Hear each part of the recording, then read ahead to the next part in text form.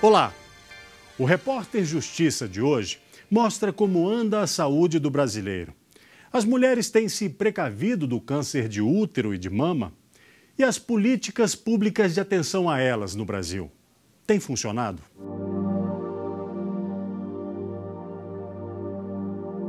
A Constituição Federal determinou o direito à saúde como universal. Com a tecnologia, a difusão da informação mais ágil fez com que a população passasse a cobrar que os direitos fossem assegurados. O número de processos na justiça decorrentes de negativa de atendimentos cresceu. Submete-se ao Poder Judiciário pretensões que, em princípio, deveriam ser satisfeitas, atendidas na esfera do Poder Legislativo. E existem dificuldades na hora de julgar esse tipo de processo. O grande dilema que eu creio que os juízes vivem, e a gente, e cada um de nós, compartilha um pouco dessa angústia quando julga a matéria num órgão colegiado, né, com mais outros juízes, é justamente essa falta de critério. No âmbito do SUS, cada um dos órgãos tem as suas atribuições muito bem definidas. Existe uma, já uma sistematização dentro do Poder Executivo que pode ser objeto de crítica, né, por quem é estudioso do tema, mas ela, é, é, já, é, ela já funciona há alguns anos. Apesar da política de atenção integral à saúde da mulher que existe no Brasil, nos hospitais públicos que vivem cheios, muitas mulheres doentes não conseguem atendimento. O mais recente levantamento sobre o câncer de mama, feito em 2013 pelo Instituto Brasileiro de Geografia e Estatística, o IBGE, mostrou que em pouco mais de 20 anos, o índice de prevalência da doença entre mulheres de 30 a 69 anos saiu de 17,4% em 1990 para 20,4% em 2010, sempre para grupos de 100 mil mulheres. O crescimento foi de 16,7%, na análise do problema, chegou-se à conclusão da causa: dificuldade de acesso a consultas médicas ou desinformação sobre exames preventivos periódicos. Isso é uma tendência que nos países desenvolvidos começou-se a detectar nas estatísticas vitais uma redução da mortalidade por câncer de mama nos últimos dois, três anos. O câncer de colo de útero no Brasil, em todas as regiões, ele é, diminuiu a sua importância frente aos demais tumores. Permanece um problema na região norte do país, onde, tem, onde o número de casos de câncer de colo de útero ainda motiva bastante preocupação.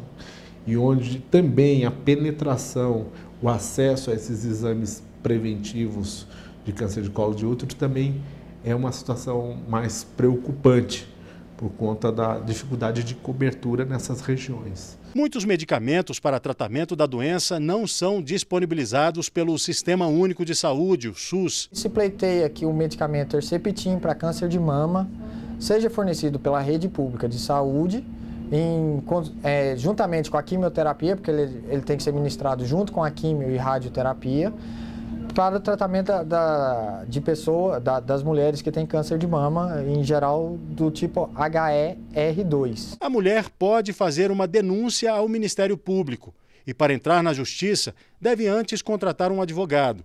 Se não tiver dinheiro para isso, pode recorrer à Defensoria Pública. A gente procura de individualizar cada ação, já fazer por meio de uma ação civil pública, de uma ação coletiva para que todas possam ter o mesmo tratamento, para que todas as cidadãs hoje possam ter o mesmo tratamento garantido, porque senão o que, que acontece? Somente aquela que procura a defensoria pública vai estar amparada no seu direito. Então, por meio de uma ação civil pública, se consegue estender a todas as mulheres, independente de serem ou não assistidas à defensoria pública. O Ministério Público é, recebe toda semana as reclamações da população, que vai desde a falta do medicamento. Às vezes esse medicamento, inclusive, está na lista do SUS, mas falta lá na prateleira, na farmácia, porque houve um problema na compra do medicamento, ou porque o fornecedor não tem esse medicamento, houve um colapso na sua oferta, ou porque a administração não se planejou adequadamente, não comprou medicamento, não fez as previsões corretas, o Ministério Público atua e cobra dos poderes públicos ou do setor privado que ele se adeque, que ele é, corrija essas falhas para que isso não fique significando a multiplicação de ações na justiça, porque várias ações dessas na justiça, isso não contribui para a solução do problema. Abigail não precisou recorrer à justiça. Pergunte como ela se sente hoje. Muito bem. Mas nem sempre foi assim? Não, não. Em 2002 eu tive câncer de mama. E quando eu descobri o diagnóstico, é, para mim foi, eu, foi um transtorno. O caminho até aqui foi cheio de obstáculos contra uma das doenças que mais assustam as mulheres. A minha família, infelizmente, nós temos o, o gene que é o BR, BRCA, BRCA1, que é um dos causadores do câncer de mama. Então eu já tinha essa preocupação, eu já sabia que, que, que tinha esse, esse gene na, na, família, e então eu já tinha essa preocupação de, tá, de, de ir a, a um mastologista. E foi essa preocupação que, que fez com que eu descobrisse muito cedo né, esse caroço, esse tumor. Fui no, no, no, no, churrasco, isso durante o dia, e eu tenho o hábito de chegar em casa, a primeira coisa que eu faço é tirar joias, bijuterias, etc. E eu fui para a beira do espelho, né, para frente do espelho, quando eu fui tirando, eu percebi um carocinho. Passei a mão aqui, um carocinho. Eu falei, pá, eu não tinha esse carocinho aí, tá errado. Todos temos os genes BRCA1 e BRCA2. Eles são responsáveis por impedir o surgimento de tumores, mas a ciência descobriu que, ao sofrerem mutação, podem deixar homens e mulheres muito mais suscetíveis a alguns tipos de câncer, como de próstata, ovário e mama. Abigail procurou médicos. Um profissional chegou a dizer que ela não tinha problema algum, mas foi submetida a exames e só depois de uma investigação profunda que se descobriu o tumor maligno, que foi retirado em uma cirurgia.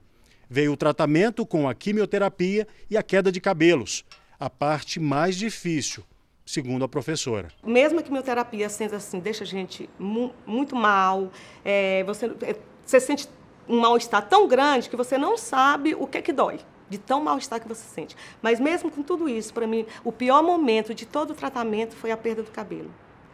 Quando eu, eu raspei a, quando começou a cair o cabelo, eu falei, não vou esperar cair, eu vou raspar. Raspei o cabelo e fiquei três dias sem conseguir me olhar no espelho. Aí, fazendo terapia, e né, assim, no dia que eu senti coragem de me olhar no espelho, aí eu me descobri, me achei bonita. Eu falei, eu não preciso do cabelo para ser bonita, eu sou bonita. E aí foi uma nova descoberta. Abigail perdeu a irmã que tinha 45 anos de idade com câncer de mama. No caso de Abigail, depois do tratamento, ela levou três anos para se sentir bem de novo. Voltou a trabalhar, fez terapia, atividade física e deu um belo exemplo de luta. Vive positivamente e, acima de todas as coisas, procura cuidar muito de si mesma. Os exames continuam, é, são é, é, o resto da vida. Eu faço, eu tenho acompanhamento com mastologista e com oncologista. É, isso sim, sempre.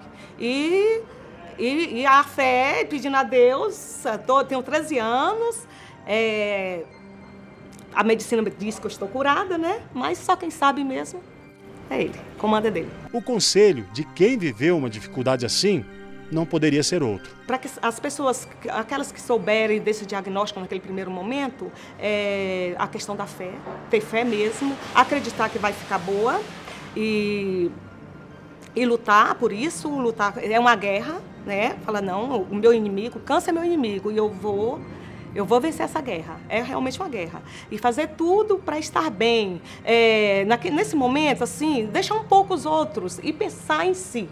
Eu estou em primeiro plano.